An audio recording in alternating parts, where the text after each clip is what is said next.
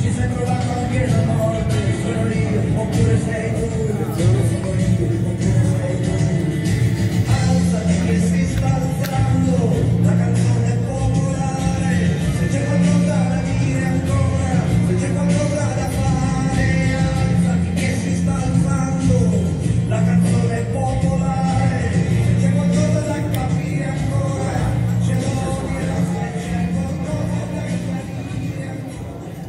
Grazie, grazie, benvenuti a tutti. Grazie Sindaco Sala, grazie Pier Francesco Maiorino. Abbiamo scelto la canzone popolare di Ivano Fossati, 1996, spero che porti bene. Anche lì eravamo tutti uniti, anche lì eravamo tutti uniti. E abbiamo sconfitto Berlusconi.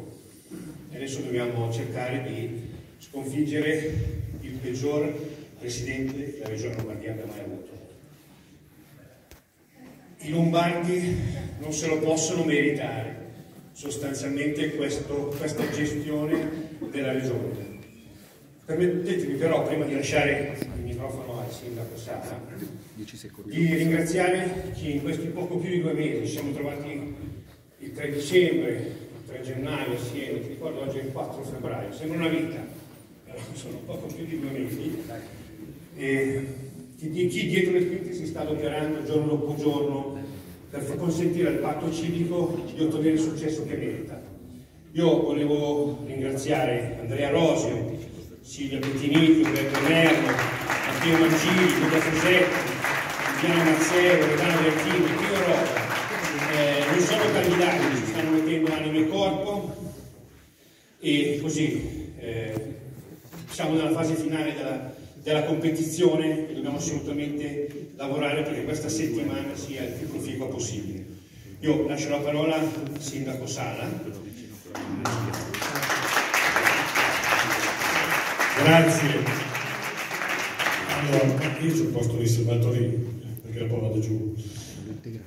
Grazie, grazie di essere qua. Cominciamo dai ringraziamenti che non sono dovuti ma sono sentiti. Perché guardate, la campagna elettorale non è una passeggiata di primavera, anche se oggi c'è un po' di aria di primavera, è faticosa, a volte aspra, a volte porta anche a atteggiamenti sbagliati un po' da tutte le parti, però è anche un momento estremamente vero, innanzitutto un momento di generosità, perché non è che tutti questi, e poi ce ne sono anche lì di candidati, si candidano perché sanno che saranno eletti, perché, ma lo fanno molto anche come atto di generosità.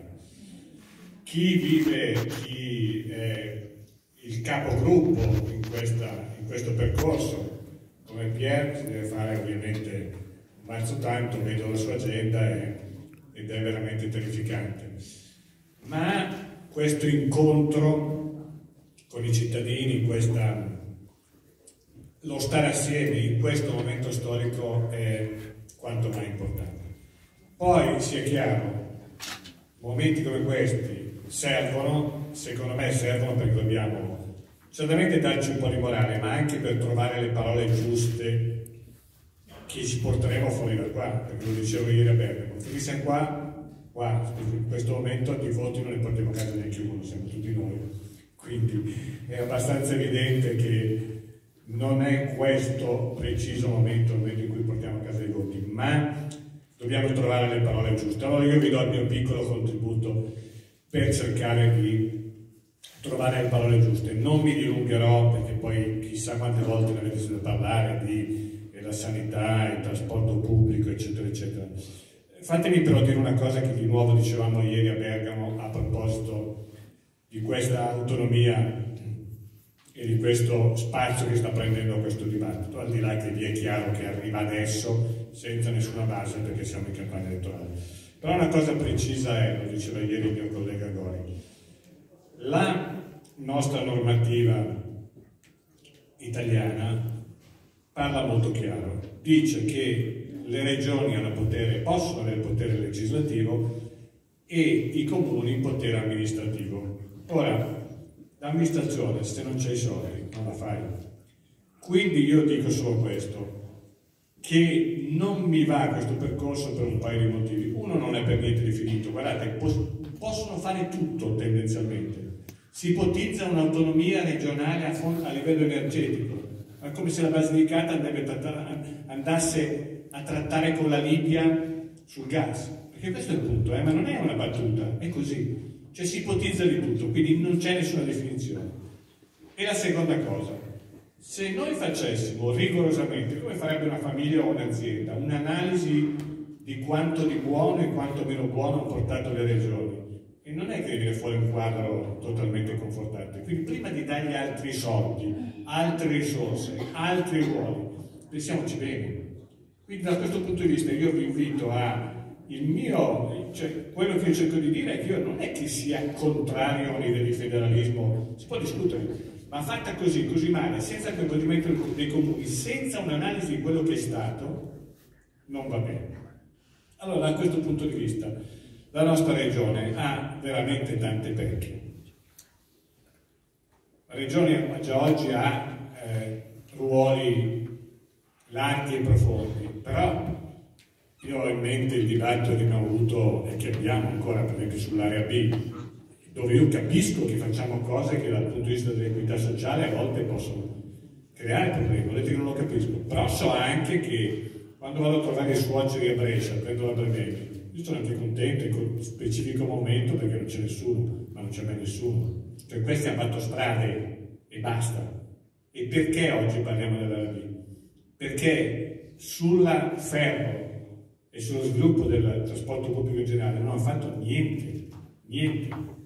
E poi dicono che bisogna, e questo lo dice sia Fontana che Moretti, cambiare la sanità lombarda. E che cavolo, eh, ce lo dicono loro, per cui è chiaro che vi sia chiaro che l'autonomia porterà le regioni come la nostra a concedere ancora di più al privato e a togliere al pubblico. E questo non è quello che noi vogliamo.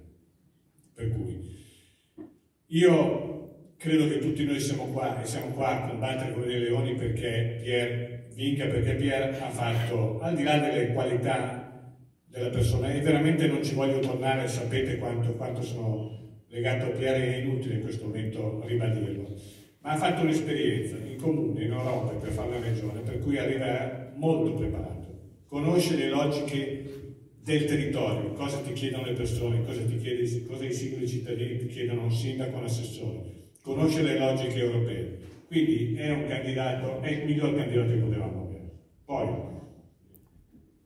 noi tutti ci speriamo, noi tutti lottiamo, dobbiamo sapere che si arriva a decidere all'ultimo momento, però la riflessione che vi invito a portare ai vostri amici e conoscenti Adesso si sente dire che probabilmente l'affluenza sarà tra il 50 e il 55%. Immaginate che vaccino, ma non chiamiamoli neanche indecisi, perché magari uno è indeciso, l'altro è pigro che non vuole andare, l'altro dice che va al mare, l'altro dice che sono tutti uguali. C'è tutto un mondo, cioè quando hai a disposizione uno spazio del genere, non puoi immaginare che la partita sia chiusa. Non è chiusa per niente, è molto aperta la partita. E dite un'altra cosa, a differenza delle elezioni comunali, quello che si vota il 12-13 febbraio è quello che deciderà le sorti della regione, non c'è ballottaggio. Che, lasciatemi dire, a noi è banale, ma non è così banale. Quindi bisogna ragionare sul tema del voto utile. Guardate, il tema è il voto utile. Io non prendo come oro colato tutti i sondaggi. Da quando faccio politica vedo sondaggi a sfare, però, per esempio, guardate, nelle ultime elezioni i sondaggi disegnavano è venuto fuori. Quando c'è una convergenza assoluta di tutti gli istituti che fanno analisi elettorale, è così. E oggi c'è una convergenza assoluta, sono in gara in due, Fontana e Piero, punto. Votare per altri è inutile. Questo è il messaggio. Chi vuole mandarli a casa deve votare Piero, non c'è nient'altro. Dite questa cosa qua e dite che non ci sarà una seconda chance e dite che ci terremo altri cinque anni. Ma il punto è questo, non c'è una seconda chance, per cui insistete su questo tema qua. È un voto, il voto utile vuol dire votare questo signore qua. e questi signori qua. La lista civica è estremamente importante perché di nuovo, tornando al tema della generosità e dell'impegno, tutti noi a volte abbiamo un po' questo atteggiamento, sì ma i partiti, sì ma guarda quello lì, sì ma guarda... Ben vengano persone che si mettono in discussione, che danno del loro tempo e che danno la loro esperienza. Tra l'altro con esperienze estremamente differenziate, ma guardate, con noi scappati di casa non ce ne sono, eh, per essere molto concreti. E noi vogliamo persone che hanno dimostrato di saper fare le cose e di essere integri, di essere persone a posto. Questo è il punto. Per cui votate poi per chi volete, però io pongo grande attenzione a queste persone, a questo patto civico e anche agli altri che so che sono seduti, saranno candidati, perché è una grande occasione per tutti noi. Grazie a tutti voi.